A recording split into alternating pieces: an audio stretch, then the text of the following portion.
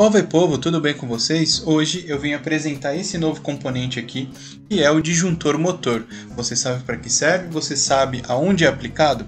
Eu sou o Patrick Silva e bem-vindo a mais esse vídeo do canal Trick Drawing. Bom galera, é o seguinte, eu resolvi trazer esse componente aqui porque eu pretendo criar no canal uma playlist referente a comandos elétricos.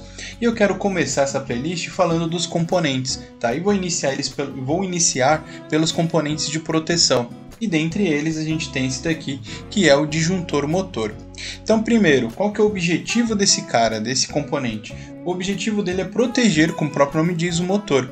Através de quais recursos? Então ele vai proteger o motor contra o curto-circuito e também vai proteger o motor contra uma sobrecarga. Tá? Então ele tem as características de um disjuntor termomagnético. Tá? Desarme através da do curto-circuito e o desarme através da sobrecarga, tá? da sobrecorrente. ok? Então, essa é a característica dele referente à proteção. Segundo, ao utilizar esse componente no seu circuito de comando, no seu circuito de potência, tá? ele tem aí as características que lhe permitem substituir dois outros componentes de proteção.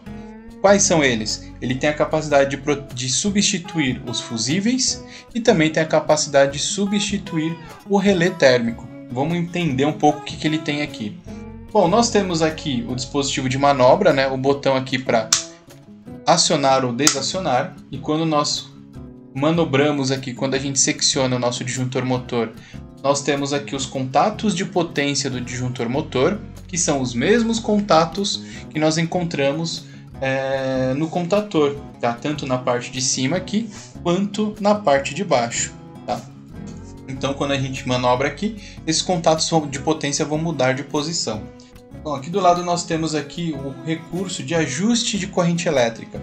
Esse disjuntor motor da Stack ele vai de 4 amperes até 6,3 amperes. O que mais que esse modelo apresenta para nós? Ele tem aqui do lado uma alavanquinha, um botão mecânico aqui de teste. Tá? Então, se você vier com uma chavinha de fenda aqui e movimentar esse botão interno, o seu disjuntor motor ele vai desarmar. Tá? Vou tentar fazer aqui a ponta da lapiseira, vamos ver se vai. Olha lá.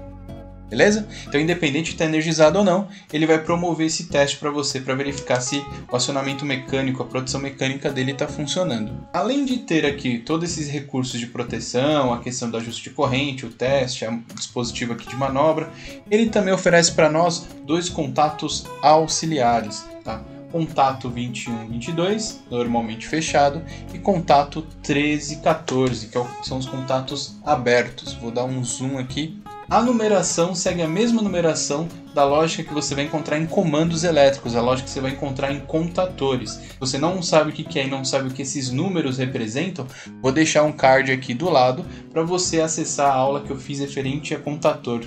Além de eu apresentar aqui para vocês essa questão dos contatos de potência e contato auxiliar, eu vou mostrar agora o comportamento dele aqui junto com o multímetro, tá? Vamos aqui medir a continuidade, fazer o teste de continuidade de alguns locais para verificar se o comportamento dele quando ele está na posição desligada e quando ele está na posição ligada, ok?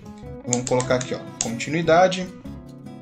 Então, vamos lá. Na posição desligada, obviamente, os contatos de potência do, do, do nosso disjuntor motor, eles vão estar desenergizados, eles vão estar abertos, ou seja, não vão oferecer continuidade. Ok? Vou até selecionar aqui, ó. Vou fazer novamente o teste, ó. Ok? Isso é válido para os três. Se eu soltar aqui, vai acontecer a mesma coisa, tá? Olha lá, não está dando continuidade em nada.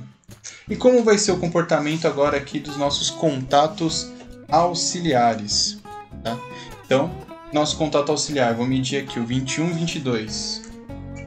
Beleza, contato fechado. E o contato aberto? Não oferece nenhuma continuidade. Agora, se eu pressionar aqui o botão para ligar, agora ele oferece continuidade. Por sua vez, o nosso contato que estava fechado ficará aberto. E aí talvez você possa estar se perguntando, mas por que motivo eu tenho que usar, ou por que aparece, por que o disjuntor motor me oferece um contato aberto e um contato fechado? Qual que é o objetivo disso? Bom, você pode usar tanto para sinalização, como também para proteção do circuito de comando, tá? onde nós temos as botoeiras, contator, é, temporizador. Tá? De que maneira a gente consegue fazer isso? Normalmente nós colocamos o contato aberto em série com a bobina do contator, tá? normalmente com o contator principal que dá início ao funcionamento de todo o resto. Então vamos supor que está disjuntor fechado, ok? Na posição ligado, tá o start aqui.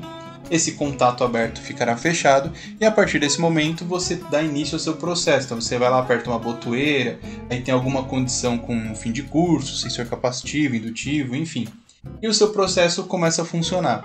E por algum motivo, tá, dá um problema no motor, um, é, ocorre um curto-circuito, uma sobrecarga, tá? E o que, que vai acontecer? Esse cara aqui, ele vai desarmar, tá? O disjuntor motor, ele vai desarmar. Então ele vai abrir tanto, ele vai seccionar tanto a alimentação do motor, tá? pela parte de potência, mas ele acaba seccionando também os contatos auxiliares. Então na posição ligado, ele vai desligar.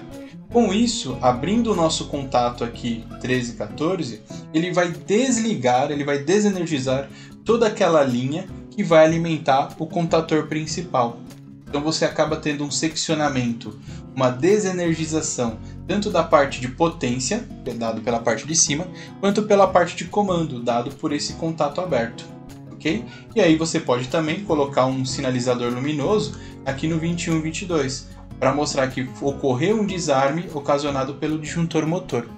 Beleza? Então é bem simples a ideia, o conceito dele. Povo e povo, espero que vocês tenham gostado. Dúvidas e sugestões, por favor, deixe nos comentários, tá? Não se esqueça de se inscrever no canal e ativar as notificações.